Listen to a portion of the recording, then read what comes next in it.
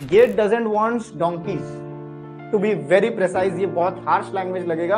Gate doesn't want donkeys कि तुम दिन रात मेहनत करो, मेरे को वो आदमी नहीं चाहिए. मेरे को कम टाइम में जो वैल्यू क्रिएट करके दे सकता है स्मार्टर पीपल्स मेरे को दे सकता है स्मार्ट वर्क जो कर सकता है, मेरे को वो आदमी चाहिए. You can not afford to have negative marks चालीस से पैंतालीस क्वेश्चन अगर सही हुआ तो तुम्हारा ऑल इंडिया रैंक पचास के अंदर हो जाएगा. ये तुम लिख के ले लो. गेट में क्या करना होता है ना, कि तीन घंटे का पेपर होता है, ठीक है? तीन घंटे का पेपर तुम कम से कम तुम्हारा इतना प्रैक्टिस हो जाना चाहिए कि ये जो तीन घंटे का पेपर है, ये तीन घंटे का पेपर तुम ऐसा हो कि एक घंटा चालीस मिनट मैक्स, एक घंटा चालीस मिनट, एक घंटा पचास मिनट मैक्सिमम तुम लेना पहला अटेम्प्ट ऑफ़ पेपर सॉल्व करने के लिए। ठीक है, कि अगर तुम एक घंटा चालीस मिनट, एक घंटा पचास मिनट में एक बार तुम अपना पेपर सॉल्व कर रहे मतलब कर ले रहे हो तो तुमको एक ब्रॉड आइडिया हो जाएगा। पहले तुम एक बार क्वेश्चन पेपर देख लिए, तुमको पता चल गया कि तुमको कौन सा बनाना है। एक नोट पैड दिया जाता है, ठीक है, एक नोट पैड तो दिया जाता है। ये सब चीज़ें थोड़ी देखो, अगर तुम स्ट्रैटेजी बना के कोई भी काम करोगे ना तो मतलब दस बार में से नौ बार तुम्हारा वो काम सक्सेसफुल होगा। ठीक है और बिना स्ट्रेटेजी के चलोगे तो नौ बार तुम्हारा गलत होगा। एक बार कभी चलो फ्लूक में तुम्हारा सही हो गया। ठीक है? अब तुम इसमें क्या करोगे? पहले पेपर देख लो, ठीक है? वो नोटपैड में लिख लो कि कौन सा कौन सा क्वेश्चन तुमको आ रहा है। कौन सा कौन सा तुम एक बार, क्योंकि तुम्हारा उस टाइम तक, जिस दिन गेट में बैठोगे, उस दिन तुम्हारा पूरा सिलेबस कंप्लीट है। तुम्हारा सब मतलब लिप्स पे है फिंगर टिप्स पे सारे जगह पे तुम्हारा फॉर्मूलाज रटे हुए हैं। तो तुमको आराम से देख के समझ में आ जाएगा कि कौन सा क्वेश्चन मेरे से बनेगा, कौन सा क्वेश्चन मेरे से नहीं बनेगा। तुम एक बार पूरा पेपर को सॉल्व कर लो, एक घंटा चालीस मिनट मोर देन एनफ होता है। एक घंटा चालीस मिनट, एक घंटा चालीस minute is like sixty five question है। अब तुमको सिक्सटी फाइव में सिक्सटी फाइव क्वेश्चन तो करने नहीं है। ठीक है? क्योंकि मैक्सिमम मार्क्स जो इस बार हाईएस्ट आया उसका है 58.33 या 58.66 तो इतना बहुत मतलब डिफरेंस नहीं है। 58.66 इज़ लेस देन 60 अगर थोड़ा स्टैटिस्टिकली तो मतलब सोचोगे तो 50 क्वेश्चन भी अगर सही कर दिया ना तो बहुत नंबर मिल जाएगा। बहुत ज़्यादा नंबर मिल जाएगा। 50 क्वेश्चन लेकिन सही होना चाहिए। चालीस से पैंतालीस क्वेश्चन अगर सही हुआ तो तुम्हारा ऑल इंडिया रैंक पचास के अंदर हो जाएगा। ये तुम लिख के ले लो।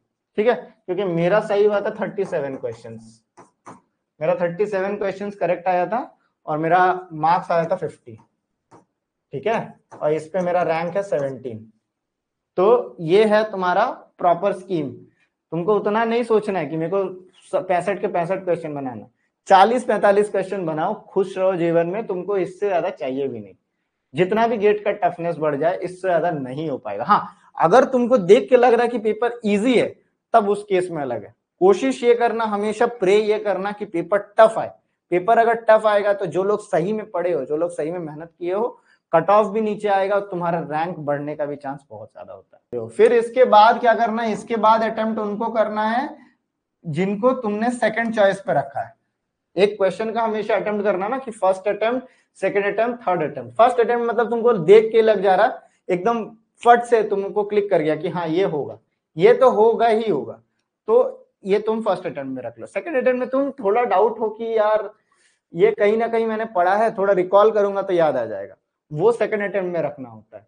थर्ड अटेम्प्ट में कौन सा रखना होता है कि ये मेरा पढ़ा हुआ है, लेकिन उतना मैं कंफर्म नहीं हूँ। अगर मेरे को देख के लग रहा है कि मैं यूनिट्स के साथ खेल सकता हूँ, मैं कुछ कर सकता हूँ तो मैं ज़रूर करूँगा। You have to be very smart enough GATE want smart peoples ठीक है? GATE doesn't wants donkeys to be very precise ये बहुत हार्श लैंग्वेज लगेगा।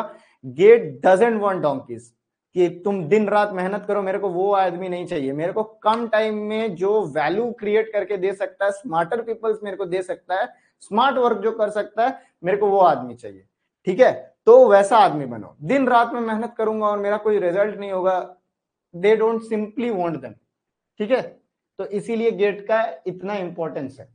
हाँ तो 45 अटेम्प्ट किए थे। 45 सही किए थे, ये थोड़ी बोला गया है।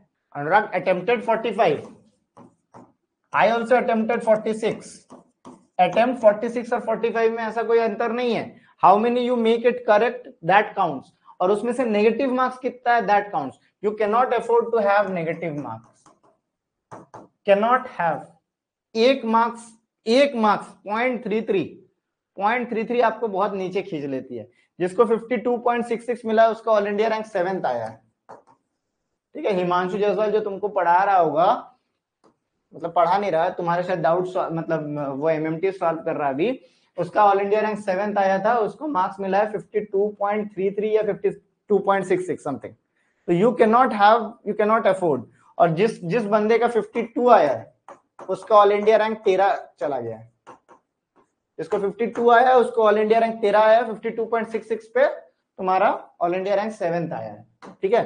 तुमको टॉप टेन से बाहर निकाल देगी वो। टफ तो था। ऑब्वियसली इस बार का क्वेश्चन देखो 2020 के बाद 2020 के बाद जितने भी गेट हुए हैं ना, जितने भी गेट हुए हैं 2020 के बाद they are not from books ठीक है?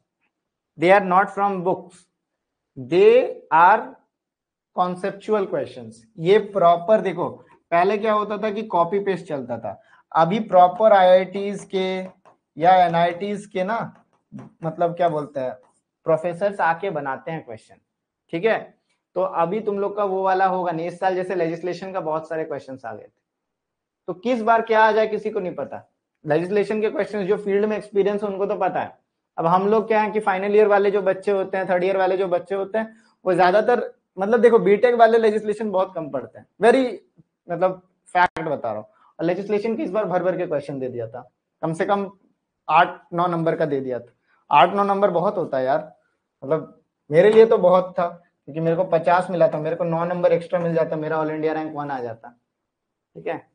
तो ये सब चीज़ें हैं। अच्छा बाय द वे तुम लोग को गिफ्ट्स के बारे में पता है ना, इस बार की गेट के गिफ्ट्स क्या है माइनिंग ज्ञान के थ्रू गिफ्ट्स क्या है, मैं वो बता दूँगा, कितने रैंक तक क्या है, वो अभी डिसाइड नहीं हुआ।